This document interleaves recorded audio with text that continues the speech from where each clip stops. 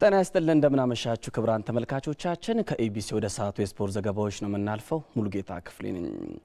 ትላንትና በስኮትላንድ ግላስኮ በተካሄደ የቤት ውስጥ ውድድር በ3000 ሜትር ወንዶች ዮሚፍ ቀጀልቻ ሶስተኛ ደረጃን በመያዝ አጠናቀቀ።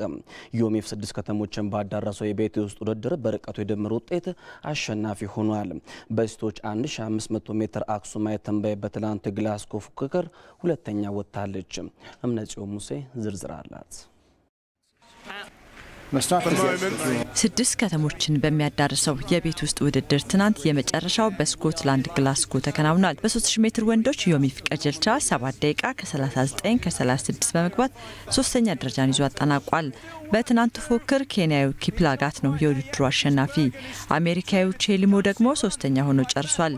በስድስቱ ከተሞች በተካሄደ ውድድር በሶስቱ የተሳተፈው ዮሚፍ ቀጀልቻ በ22 ነጥብ የ3000 ሜትር አጠቃላይ አሸናፊ ሆኗል። በሁለቱ ውድድሮች ላይ ተሳትፎ 17 ነጥቦችን የሰበሰበው ሀጎስ ገብረ ሕይወት ደግሞ በነጥብ ሁለተኛ ደረጃን ይዟል። ስፔናዊው አዳል ሚካኤል ነው በ11 ነጥብ ሶስተኛ ሆኖ የጨርሰው። ሌላው ኢትዮጵያዊ ደጀን ገብረ መስቀል በአንድ ውድድር ላይ ባለው ተሳትፎ አምስት ነጥብ አስመዝግቧል። በአጠቃላይ ደረጃም ዘጠነኛ ላይ ተቀምጧል። ትናንት ኢትዮጵያን የተሳተፉበት ሌላው ውድድር የ1500 ሜትር ሴቶች ነው። አክሱማይት ትንባኤ አራት ደቂቃ ከ08 ከ33 በመግባት ሁለተኛ ወጥታለች።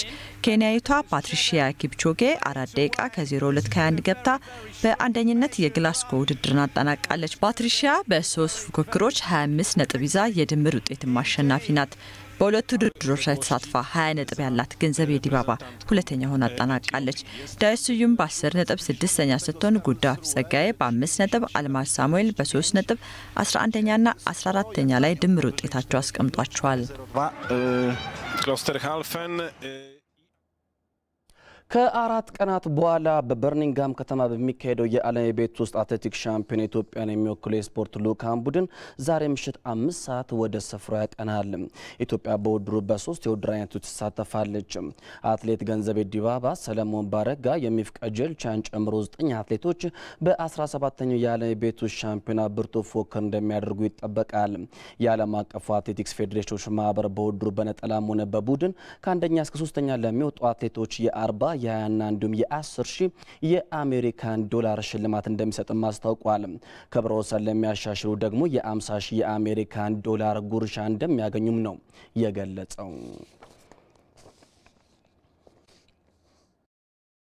በ2019 በኒጀር አስተናጋጅነት ለሚካሄደው ከ20 ዓመት በታች የአፍሪካ እግር ኳስ ዋንጫ የማጣሪያ ጨዋታ ድልድል ይፋ ሆነም። የአፍሪካ እግር ኳስ ኮንፌዴሬሽን ካፍ ባወጣው ድልድል መሰረት የኢትዮጵያ ብሔራዊ ቡድን ከብሩንዲያቸው ጋር የደርሶ መልስ ጨዋታ ያደርጋል። ከ20 ዓመት በታች የኢትዮጵያ ብሔራዊ ቡድን የመጀመሪያውን የማጣሪያ ጨዋታ በሜዳው ከመጋቢት ሃያ ጀምሮ ባሉት ቀናት ከብሩንዲያቸው ጋር ይገናኛል። የመልሱ ጨዋታ ደግሞ ከሜዳ ውጭ ከሁለት ሳምንት በኋላ እንደሚያደርግ ይጠበቃል። ስምንት ሀገራት የሚሳተፉበት 2019 ከ20 ዓመት በታች የአፍሪካ እግር ኳስ ዋንጫ በ2017 ዛምቢያ ሻምፒዮን መሆኗ ይታወሳል። የኢትዮጵያ ሰራተኛ ማህበራት ኮንፌዴሬሽን ያዘጋጀው ስፖርታዊ ውድድር የአስረኛ ሳምንት ጨዋታዎች ተካሂደዋል። በእግር ኳስ ኢትዮጵያ አየር መንገድ፣ ትራንዛክሽን ማኒፋክቸሪንግ፣ ኢትዮጵያ ፖስት አገልግሎት፣ አንበሳ የከተማ አውቶቡስ፣ ኢትዮጵያ ንግድ ባንክ፣ ኢትዮጵያ ግብርና ስራዎች፣ ፖል ሬስ ልጆችና መከላከያ ኮንስትራክሽን ተጋጣሚዎቻቸውን ረትተዋል። በቮሊቦል ወንዶች አዲስ አበባና ውሃና ፍሳሽ፣ ሆራዘን አዲስ ጎማ፣ ኢትዮ ቴሌኮም ሲረቱ ኢትዮ ቴሌኮም በሴቶችም አሸንፏል። በጠረጴዛ ኳስ ወንዶች ኢትዮ ቴሌኮም ጂኦ ሴንቴቲክስ ሲያሸንፉ አንበሳ የከተማ አውቶቡስን በሴቶች ረትተዋል። በዲማና በገበጣ አዲስ አበባና ዋና ፍሳሽ አሸናፊ ሲሆን ኢትዮ ቴሌኮም በዳማና በዳርት አንበሳ አውቶቡስ ደግሞ እንዲሁ በዳርትና በከረምቡላ አሸንፏል። ውድድሩ በቀጣዩ ሳምንት እንደሚካሄድ የኢሰማኮ ስፖርት ዘርፍ ያደረሰን መረጃ ያመለክታል።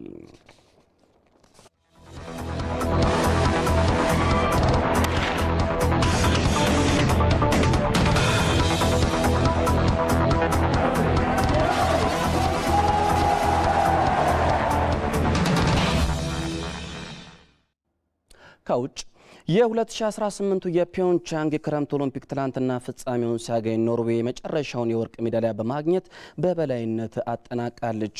168 ሩሲያን አትሌቶች በዓለም አቀፍ ኦሎምፒክ ኮሚቴ አርማ ስር ቢወዳደሩም ሁለቱ አትሌቶች አበረታች ንጥረ ነገር መጠቀማቸው ሩሲያ ያለውን ጫና የበለጠ አክብዶታል።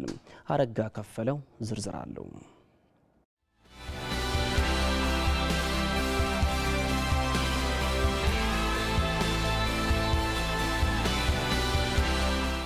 ላለፉት 17 ቀናት በኮሪያ ምድር ሲካሄድ የሰነበተው የክረምት ኦሎምፒክ በጀርመንና ኖርዌይ ሲደረግ የነበረው ፉክክር በስተመጨረሻ ኖርዌይንን የደረጃ ሰንጠረዥ አናት ላይ አድርጎ ትናንት ፍጻሜውን አግኝቷል።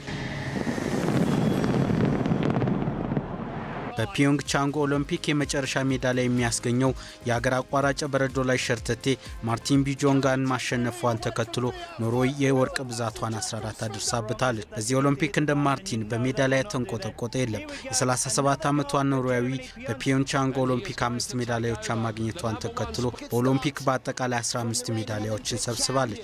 ጀርመን ከኖርዌይ እኩል 14 የወርቅ ሜዳሊያዎችን ብታገኝም በብርና ነሐስ ሜዳሊያዎች በመበለጧ ሁለተኛ ሆናለች። ካናዳ አሜሪካና ኔዘርላንድስ ከሶስተኛ እስከ አምስተኛ ያለውን ደረጃ ይዘዋል።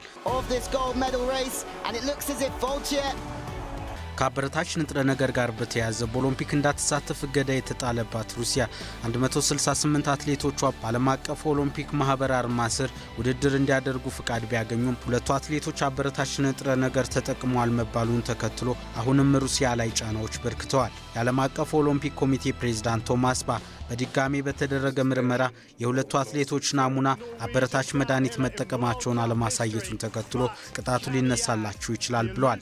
ቢሆንም ግን የሩሲያ መንግስት በአበረታች ቅመሞች ላይ የሚሰራው ስራ ተስፋ ሰጪ ምልክት ባልታየበት አጋጣሚ ከዚህ በኋላም ቀጣዮቹ ኦሎምፒኮች ያለ ሩሲያውያን ሊደረጉ ይችላሉ ተብሏል። በፒዮንግ ቻንጉ የክረምት ኦሎምፒክ አፍሪካ በኤርትራ፣ ጋና፣ ደቡብ አፍሪካ፣ ኬንያ፣ ናይጄሪያ፣ ማዳጋስካርና ቶጎ ብትወከልም በሜዳሊያ ሰንጠረዡ ውስጥ መግባት አልቻሉም። በመጨረሻም በእንግሊዝ ኤፍኤ ካፕ አምስተኛ ዙር የመልስ ጨዋታ ዛሬ ምሽት ሲደረግ ምሽት አምስት ሰዓት ከ05 ደቂቃ በሊበርቲ ስቴዲየም ስዋንሲ ሲቲ ሼፊልድ ዌድነስዴይን ያስተናግዳል። የመጀመሪያው ጨዋታ ባዶ ለባዶ በሆነ ውጤት መጠናቀቁ የሚታወስ ነው።